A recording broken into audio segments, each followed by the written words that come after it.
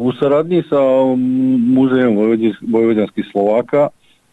smo napravili ovu izložbu još 2021. godine.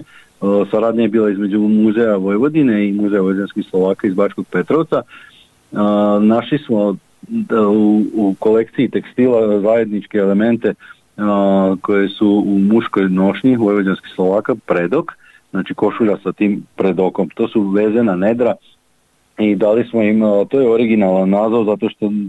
ne može to da se ne, nema sličnog nigde, tako da smo ostavili taj izvorni na slovačkom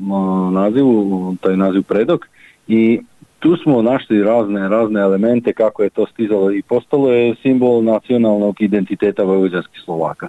Ima sličnih elemenata u Slovačkoj, ali taj put tog predoka je jako zanimljiv, tako da tu smo napravili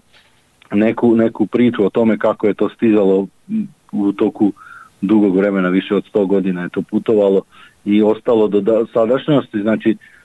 imamo to istraživanje iz e, prošlosti i u sadašnjosti, kako, pošto te košulje se još danas nose kao deo ono, dali nošnje ili kao neki modni detalj ili tako, tako da imamo razne informacije i neće biti prikazani originali iz muzejske zbirke, nego će biti napravljeni su ta izložba kao mobilna da bude, da, da ima